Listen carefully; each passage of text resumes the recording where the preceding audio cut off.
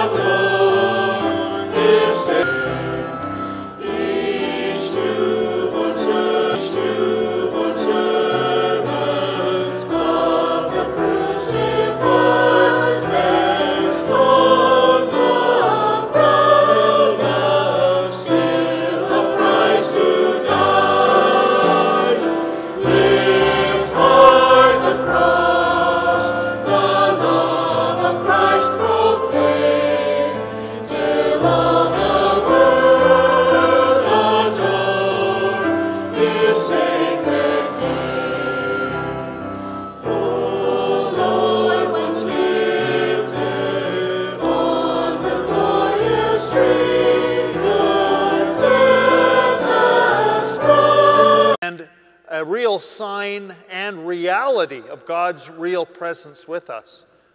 I do want to extend a special uh, a welcome, first of all, to any guests to our community, and also to the catechumens and candidates uh, who, in a few short days, will be received into the church at the Easter Vigil or will receive the sacrament of confirmation to complete their sacraments.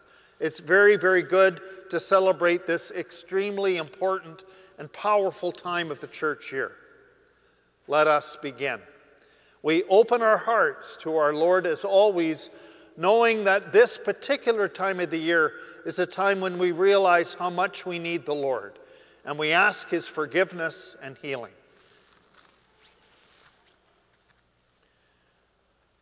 I confess to Almighty God and to you, my brothers and sisters, that I have greatly sinned in my thoughts and in my words, in what I have done and in what I have failed to do, through my fault, through my fault, through my most grievous fault. Therefore, I ask Blessed Mary, ever Virgin, all the angels and saints, and to you, my brothers and sisters, to pray for me to the Lord our God. May the Almighty God have mercy on us, forgive us our sins, and lead us to everlasting life.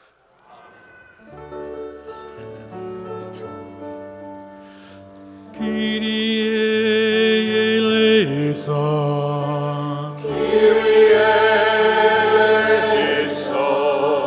Christe eleison.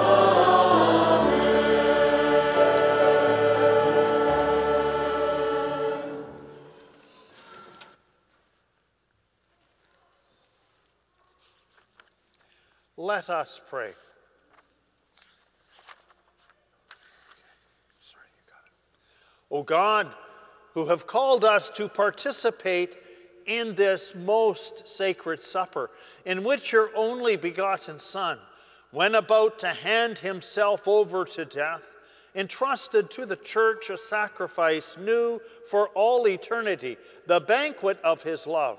Grant, we pray, that we may draw from so great a mystery the fullness of charity and of life.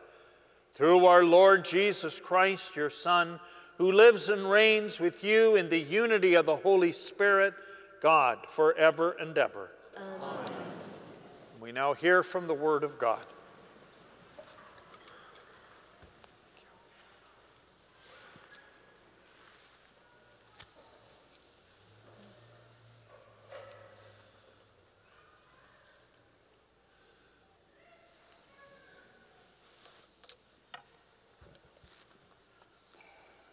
A reading from the book of Exodus. The Lord said to Moses and Aaron in the land of Egypt, This month shall mark for you the beginning of months. It shall be the first month of the year for you. Tell the whole congregation of Israel that on the tenth of this month they are, take, are to take a lamb for each family, a lamb for each household. If a household is too small for a whole lamb, it shall join its closest neighbor in obtaining one. The lamb shall be divided in proportion to the number of people who eat of it. Your lamb shall be without blemish, a year old male. You may take it from the sheep or from the goats. You shall keep it until the fourteenth day of this month. Then the whole assembled congregation of Israel shall slaughter it at twilight. They shall take some of the blood and put it on the two doorposts and on the lintel of the houses in which they eat it. They shall eat the lamb that same night. They shall eat it roasted over the fire with unleavened bread and bitter herbs. This is how you shall eat it your loins girded your sandals on your feet, and your staff in your hand, and you shall eat it hurriedly. It is the Passover of the Lord. For I will pass through the land of Egypt that night, and I will strike down every firstborn in the land of Egypt, both human beings and animals. On all the gods of Egypt I will execute judgments. I am the Lord. The blood shall be a sign for you on the houses where you live. When I see the blood, I will pass over you, and no plague shall destroy you when I strike the land of Egypt. This day shall be a day of remembrance for you. You shall celebrate it as a festival to the Lord. Throughout your generations, you shall observe it as a perpetual ordinance.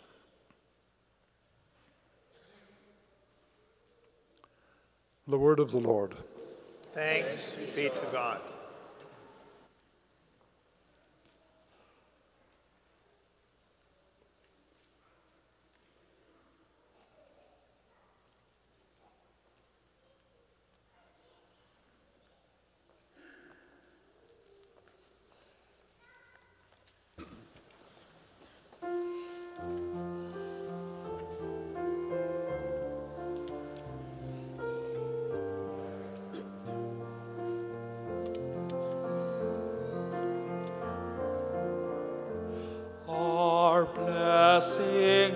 Peace our communion with the blood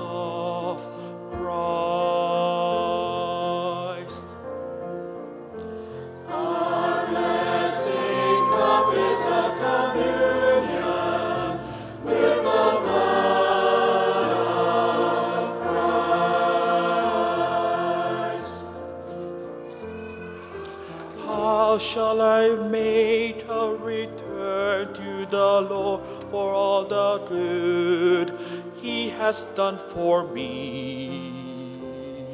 The cup of salvation I will take up, and I will call upon the name of the Lord. Our blessing cup is a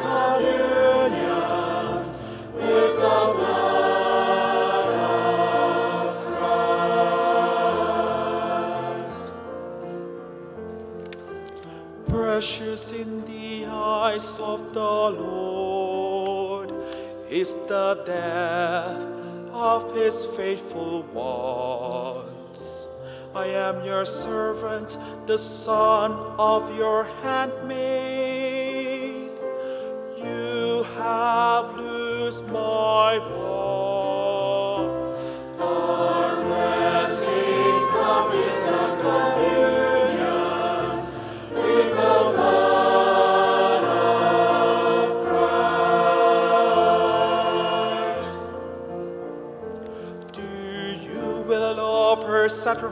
Of thanksgiving,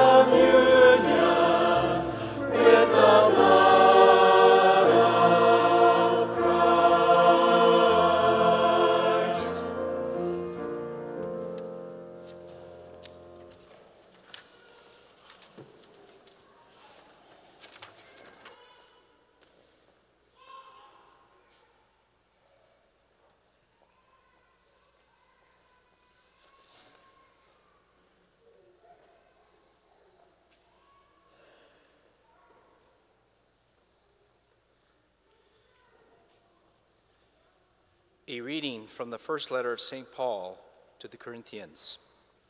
Brothers and sisters, I received from the Lord what I also handed on to you that the Lord Jesus, on the night he was betrayed, took a loaf of bread. And when he had given thanks, he broke it and said, This is my body that is for you. Do this in remembrance of me. In the same way, he took the cup also after supper, saying, This cup is the new covenant in my blood. Do this as often as you drink it in, in remembrance of me. For as often as you eat this bread and drink the cup, you proclaim the Lord's death until he comes. The word of the Lord. Thanks be to God.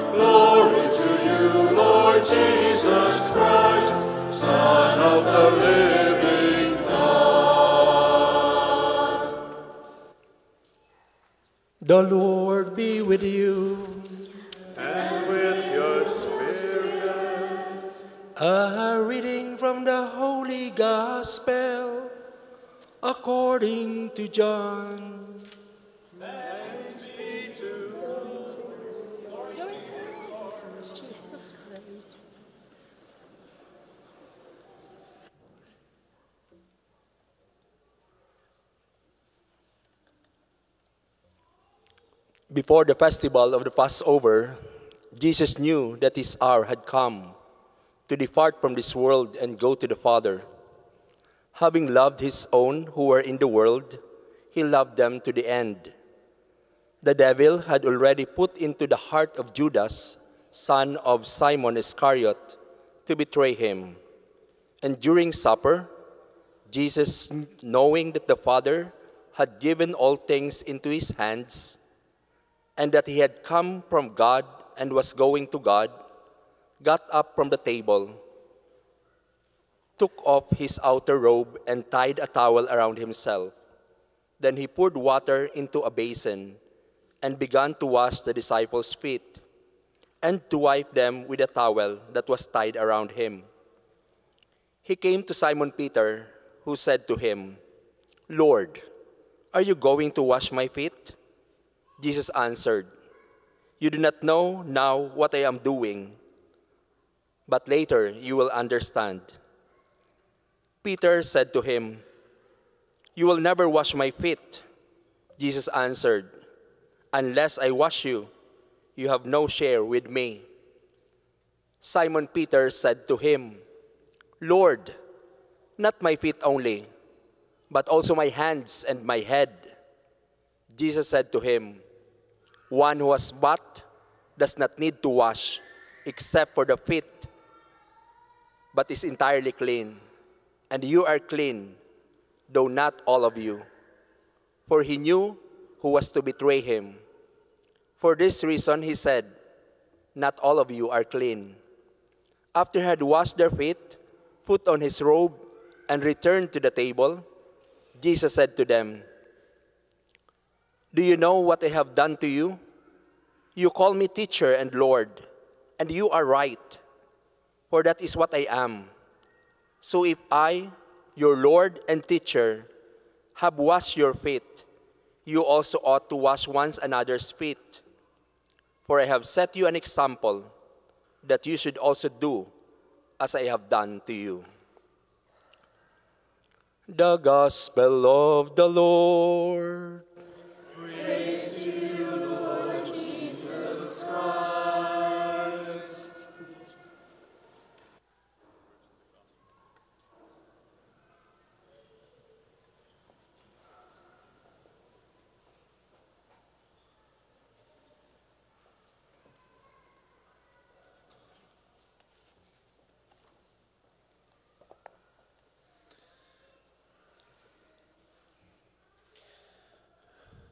It's one thing to say, it is good to gather.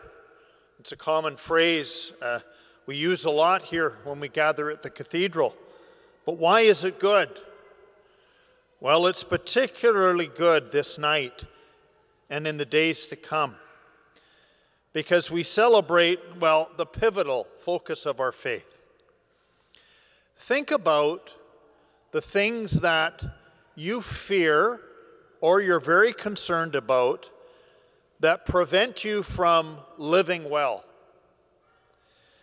You know, uh, when I was a young man, I keep saying not that long ago, the, the memory of my parents of the Second World Wars was pretty quite vivid, even though it concluded when they were children. But both of them lived in different parts of Western Canada as children and felt the effects of those wars on just the whole way of life, not only in Canada, but in the world. And everyone was very fixed on the battle to overcome the oppression of evil. Uh, that was a feature of you know, uh, Nazi uh, warfare and the uh, Axis powers. And it was very clear that the alliance had to deal with those enemies, because otherwise the whole world was at risk.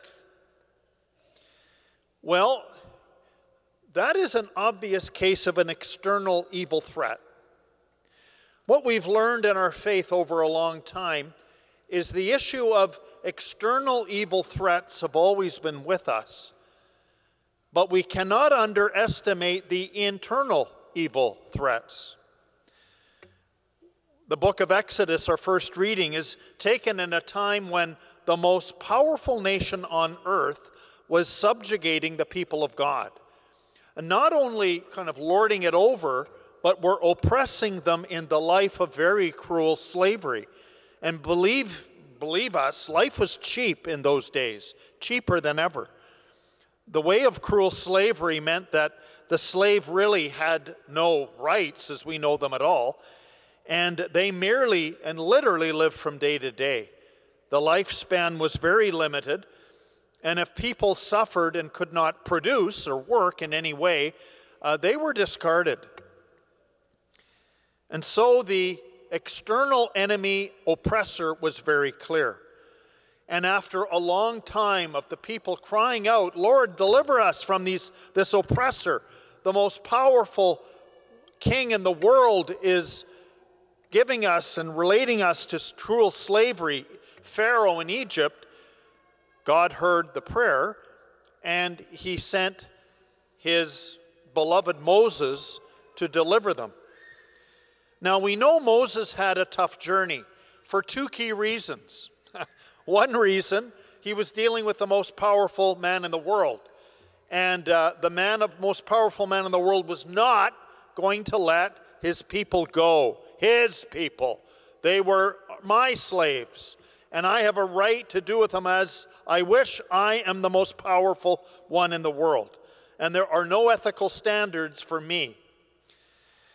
But the other thing that Moses found he dealt with a lot, and it became the bigger issue in the long term, uh, was the sin and doubt and uh, incapacitating fear, and therefore eventually the unbelief of Israel. When they faced Moses' leadership to stand up against this oppressive evil power, it meant that they had to trust in God and trust in Him to move forward to an unknown future, an unknown future of freedom. And it featured walking in a desolate new place in order to transition from that place of, although familiarity of slavery, to the new place, the new way. And boy, did Moses have a fight after a while. Uh, his life was even threatened by the very people he came to save. Uh, they threatened to stone him and to kill him. And if it wasn't for God's protection and advocacy of Moses, because Moses was very much advocating for the people, um, Moses wouldn't have lasted. It's one of the reasons why Pope Francis, uh, several years ago, said Moses is the greatest leader the world has ever known for what he came up against and what he was called to do. So tonight we celebrate the Passover. So the Passover. So God's people who were subject to so much oppression were passed over by God's angel who was going to deal with the oppressors. And unbelievably, it was Pharaoh who indicated uh, the evil, he brought down the evil that was uh, therefore took place. The firstborn of every uh, animal and every human being uh, was taken because Pharaoh decreed it. But Israel was protected. They were passed over as the evil was dealt with. And it was after that that Pharaoh let them go free. But what happened? Again, as the people left, they're still dealing with the problem of evil, the oppressor. It stays with them. In other words, leaving the external oppressor, Pharaoh, was only the beginning of the journey to the unknown f- f- uh, future of freedom. And they failed in many, many ways. Well, we fast forward to the time of Jesus. Get this. This time, the Passover in Jesus renders Jesus both the God who saves and the God who suffers.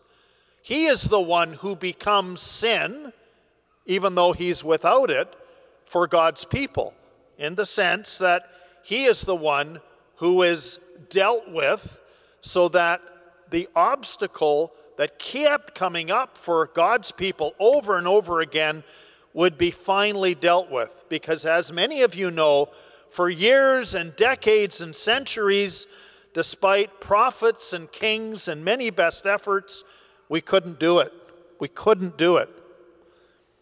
The Son of God, the God man, he does it. And so, what we celebrate tonight, and then, of course, tomorrow, when we honor Jesus utterly humiliated on the wood of the cross, uh, is the focus of these days, let alone the amazing miracle of Easter Sunday. From slavery to freedom, easy to say, wonderful to dream, but boy, what a journey. It's also a day when we celebrate the priesthood, Holy Thursday. And we had our Chrism Mass two days ago, as many of you know, because it's easier timing for all the priests who, who live across the diocese. Some of them travel three and a half hours. So it's a, it's a, a more convenient time to do it Tuesday. But um, in Rome, they do the Chrism Mass on Holy Thursday morning. But whenever we celebrate the Chrism Mass, we're celebrating the birthday of the priesthood, the ministerial priesthood.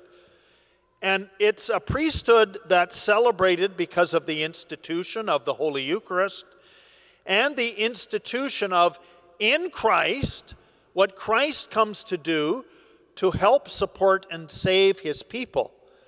Now remember, his people are not just passive people like those oppressed in Egypt.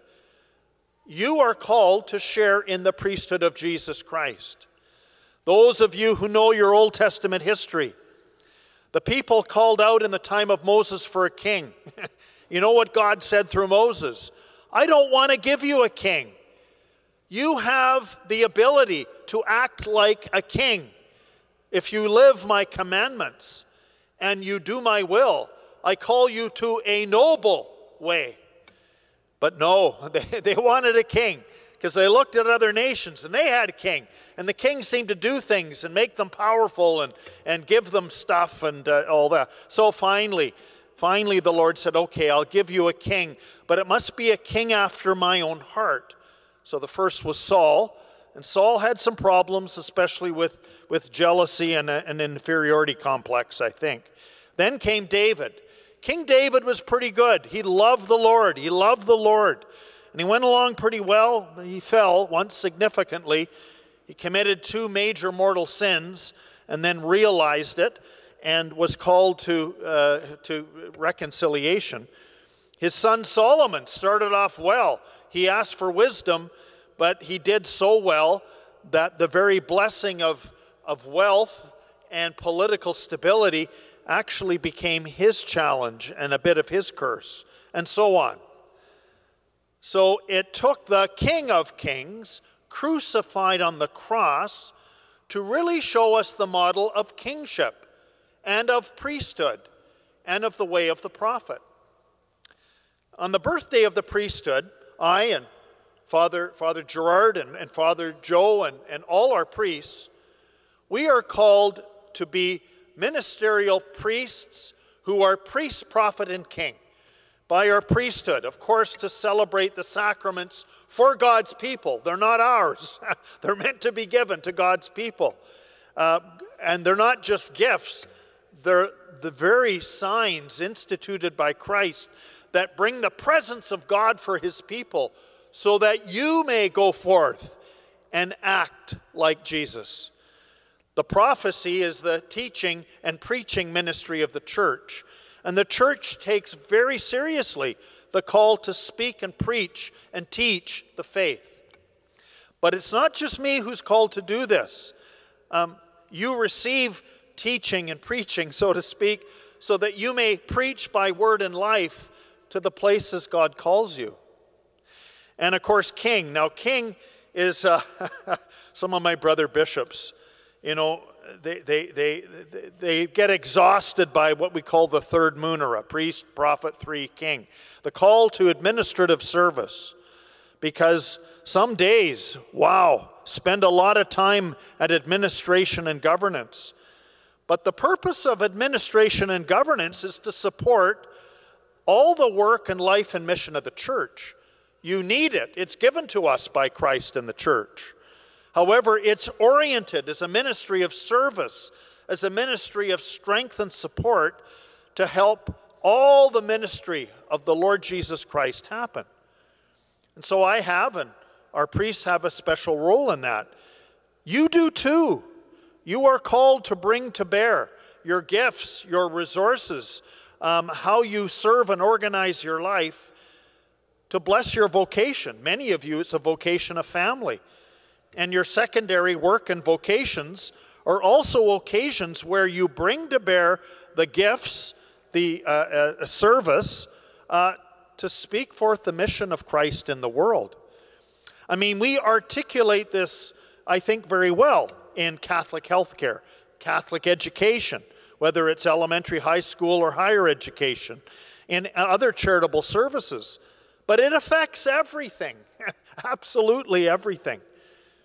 So this night and tomorrow and Sunday are a big deal because we celebrate a couple things here in summary. Number one, God does hear our cry to deliver us from all that oppresses us. Secondly, what oppresses us is more than meets the eye. It's not just the external, obvious oppressor, it's the bentness in me that needs to be straightened throughout my life. One beatitude teaches this Blessed are the meek. You know, people don't understand that one very well. The meaning of blessed are the meek, coming from the Greek word praus, which has the meaning of taming of animals, means that my ability, my gifts are under discipline and control to be brought to bear on the life that Jesus calls me to. If I am not meek, if I'm not tamed, if I'm not disciplined, I am reckless and out of control, or I just pull away and do my own thing. I am not a disciple of Jesus Christ. So let this, these days be an occasion where we can live the Beatitudes because of Jesus Christ. He does, as I've said before, boldly goes where amazingly no one could go before. They wanted to, but couldn't. And many prophets and kings did their best, but they weren't the Messiah. Jesus is the Messiah. And now we see the extent to which God goes. He becomes the sacrificial lamb. We are passed over. He is the one who becomes sin for us so that all obstacles clearly will be dealt with. However, it's not visible at first on the cross. Even the devil said, Hooray, I've won. But on Easter Sunday, even the devil realized, Oh, I did not see this coming. The absolute humility of the God man makes possible us to be saved. And if we fall, dealing with the same kind of sin over and over again, as was the history of Israel fleeing Egypt, let us remember the cross. Let us remember the example of Jesus Christ. He was the most powerful innocent one in the history of the world, and yet he became the victim. We are about to do something as a ritual on Holy Thursday that represents Jesus' great love, humility, and service. He washes his disciples' feet. And why does he do this? I, I think you know. In the name of the Father, and of the Son, and of the Holy Spirit.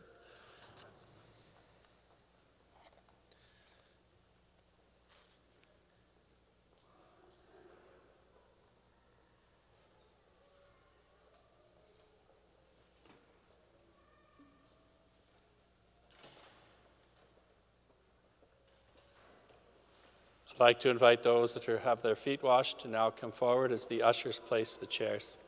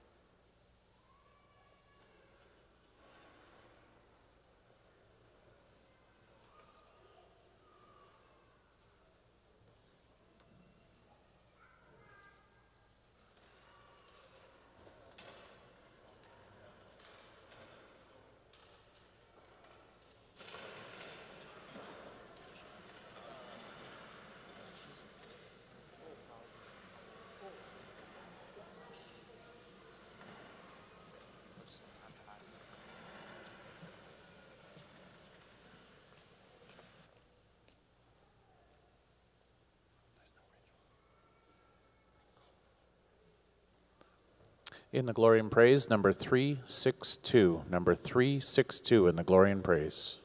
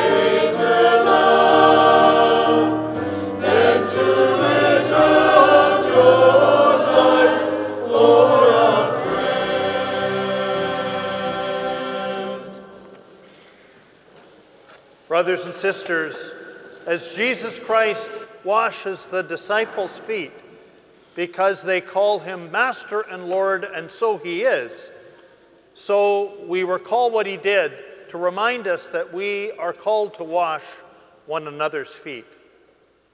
We now bring before God our prayers and petitions.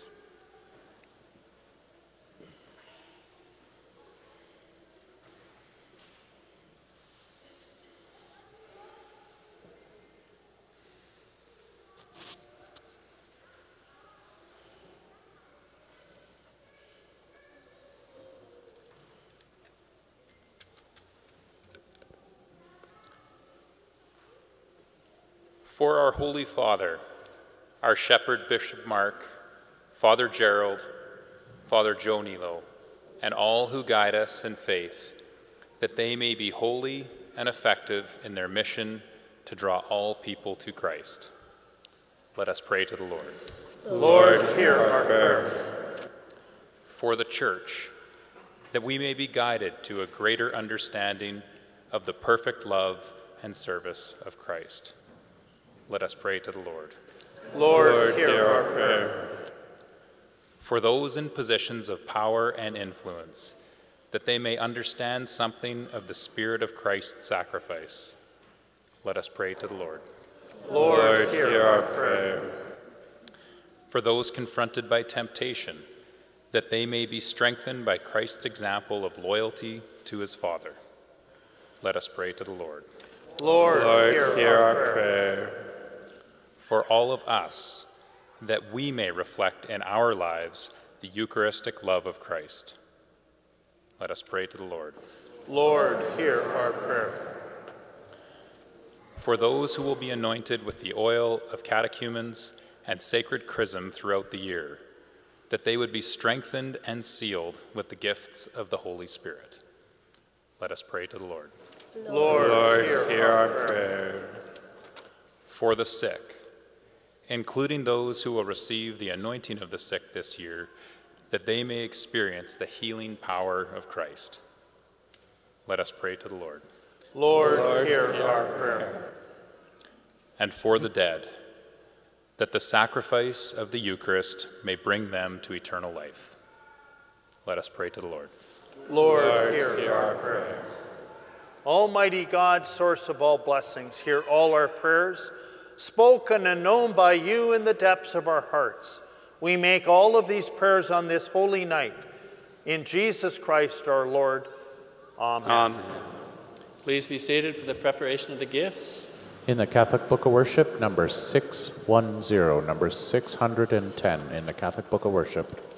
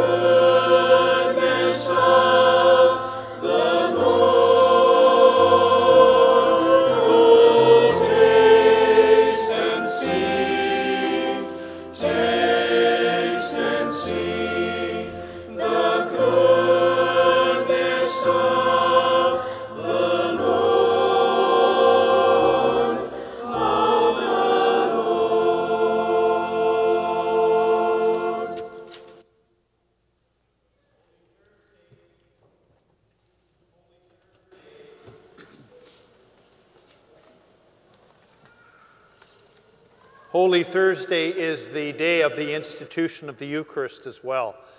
We celebrate today that the Savior is also the victim, and the Savior and the victim is the source and summit. He is our food. An absolutely amazing, generous God gives Himself to be our sustenance so that we may be what He sees us and calls us to be people who are made in His image and likeness, people who are set free from all oppression. And so on this holy night, we celebrate the institution of the Holy Eucharist.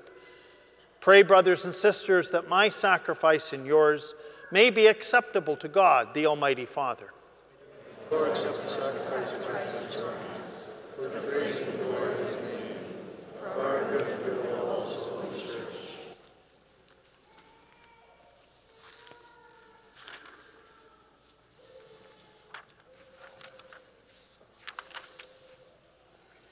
Grant us, O Lord, we pray, that we may participate worthily in these mysteries. For whenever the memorial of the sacrifice is celebrated, the work of our redemption is accomplished through Christ our Lord. The Lord be with you. And with your spirit, Lift up your hearts. we lift them up to the Lord. Let us give thanks to the Lord our God. It is right and just. It is truly right and just, our duty and our salvation, always and everywhere to give you thanks. Lord, Holy Father, Almighty and eternal God, through Christ our Lord. For he is the true and eternal priest who instituted the pattern of, ev- of an everlasting sacrifice and was the first to offer himself as the saving victim, commanding us to make this offering as his memorial. As we eat his flesh that was sacrificed for us, we are made strong. As we drink his blood that was poured out for us, we are washed clean. And so, with the angels and archangels, with thrones and dominions, and with all the hosts and powers of heaven, we sing the hymn of your glory, as without end we acclaim.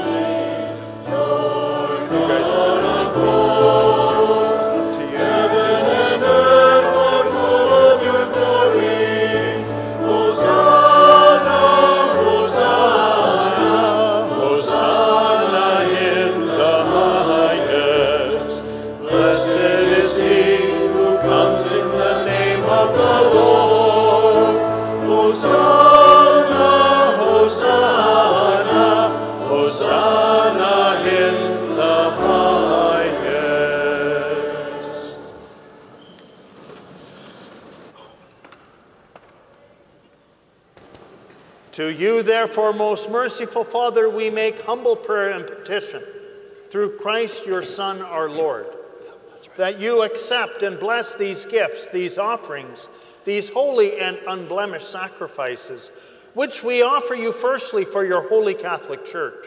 Be pleased to grant her peace, to guard, unite, and govern her throughout the whole world, together with your servant, Francis our Pope, me, your unworthy servant, and all those who, holding to the truth, hand on the Catholic and Apostolic faith. Remember, Lord, your servants, and all gathered here whose faith and devotion to you are known. For them we offer you the sacrifice of praise, or they offer it for themselves and all who are dear to them, for the redemption of their souls, in hope of health and well being, and paying their homage to you, the eternal God, living and true. Celebrating that most sacred day on which our Lord Jesus Christ was handed over for our sake, and in communion with those whose memory we venerate, especially the glorious ever Virgin Mary, the mother of our God and Lord Jesus Christ, and blessed Joseph, her spouse, your blessed apostles and martyrs, Peter and Paul, Andrew, James, John, Thomas, James, Philip, Bartholomew, Matthew, Simon, and Jude, Linus, Cletus, Clement, Sixtus, Cornelius, Cyprian, Lawrence, Chrysogonus, John and Paul, Cosmas and Damian, and all your saints. We ask that through their merits and prayers in all things, we may be defended by your protecting help. Therefore, Lord, we pray, graciously accept this oblation of our service, that of your whole family, which we make to you as we observe the day on which our Lord Jesus Christ handed on the mysteries of his body and blood for his disciples to celebrate. Order our days in your peace and command that we be delivered from eternal damnation and counted among the flock of those you have chosen through Christ our Lord. Be pleased, O God, we pray, to bless and acknowledge and approve this offering in every respect. Make it spiritual and acceptable so that it may become for us the body and blood of your most beloved Son, our Lord Jesus Christ. On the day before he was to suffer for our salvation and the salvation of all, that is today, he took bread in his holy and venerable hands. And with eyes raised to heaven, to you, O God, his almighty Father, giving you thanks, he said the blessing, broke the bread, and gave it to his disciples, saying, Take this, all of you, and eat of it. For this is my body, which will be given up for you.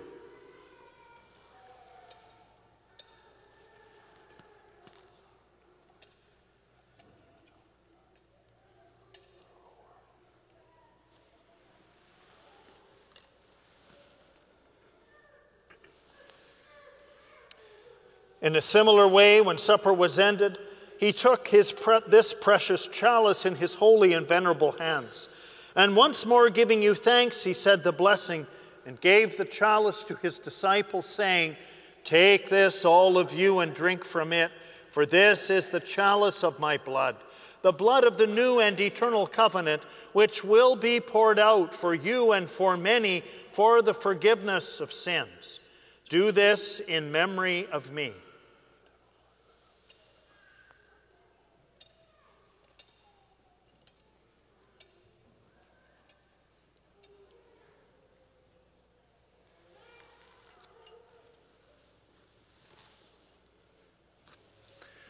The mystery of faith. We proclaim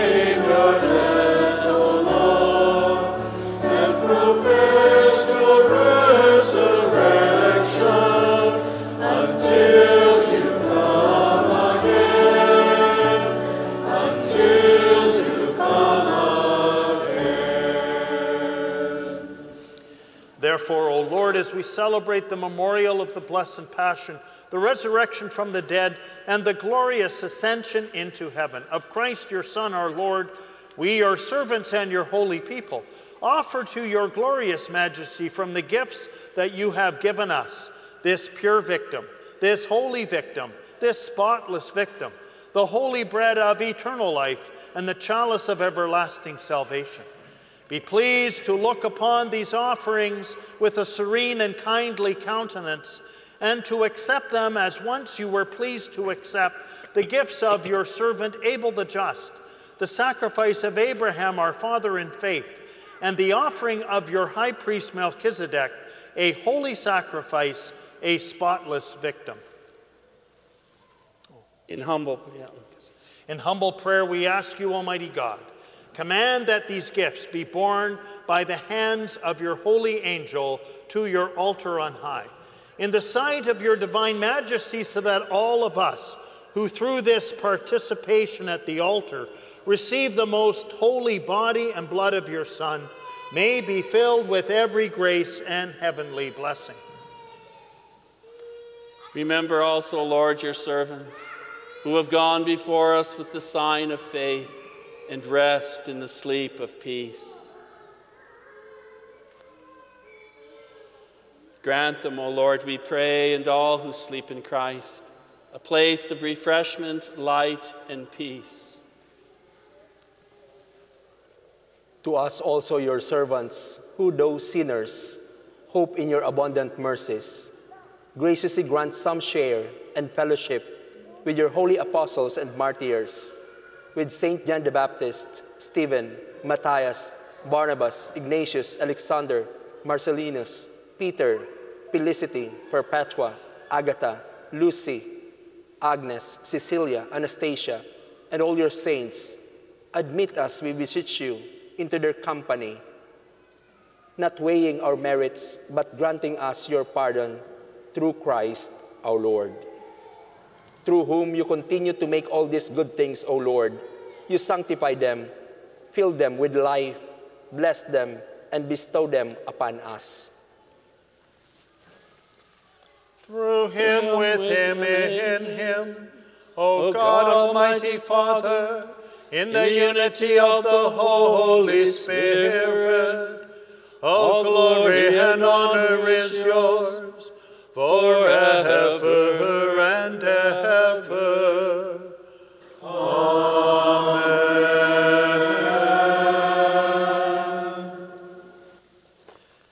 At the Savior's command, informed by divine teaching, we dare to say, Our Father, who art in heaven, hallowed be thy name.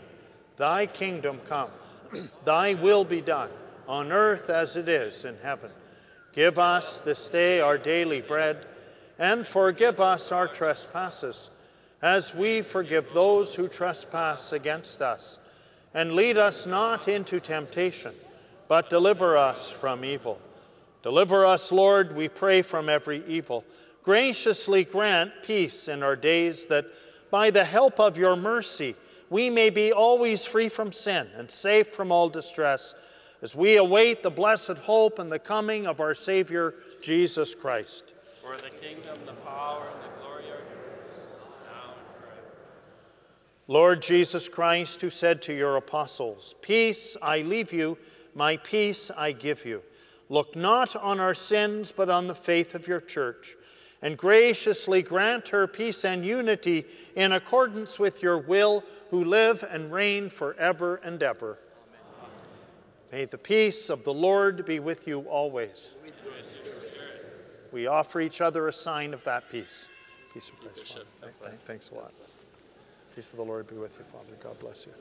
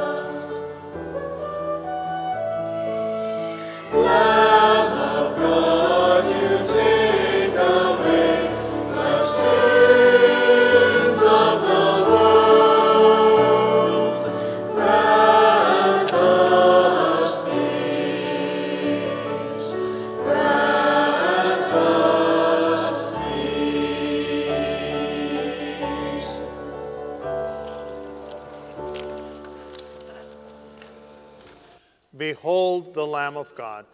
Behold him who takes away the sins of the world. Blessed those called to the supper of the Lamb. I am not worthy that you should enter under my roof, but only say the word, and my soul shall be healed.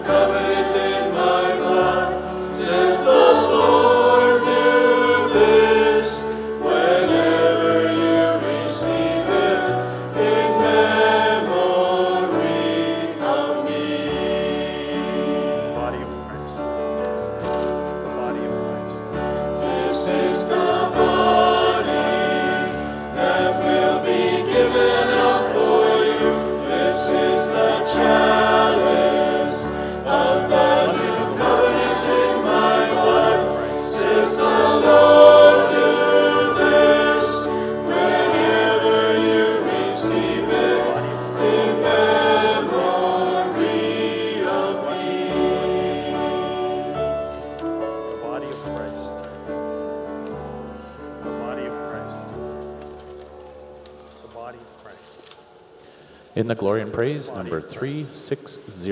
In the glory and praise number 360.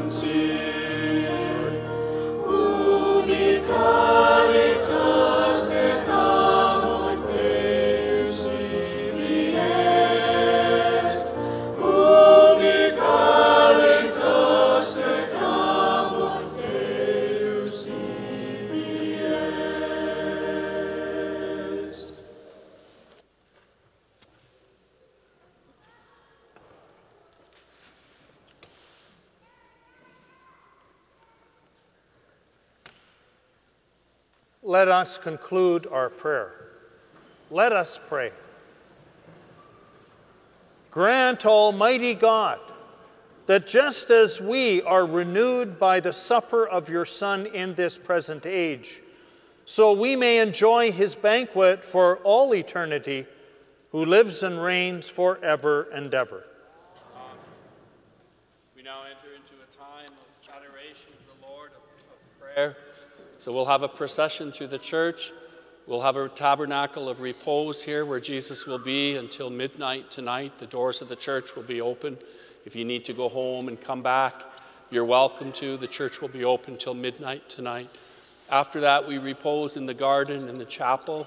So we have Jesus there. You notice the tabernacle was empty as you come into church today. As we enter into these three days, is the one mystery of his death and resurrection.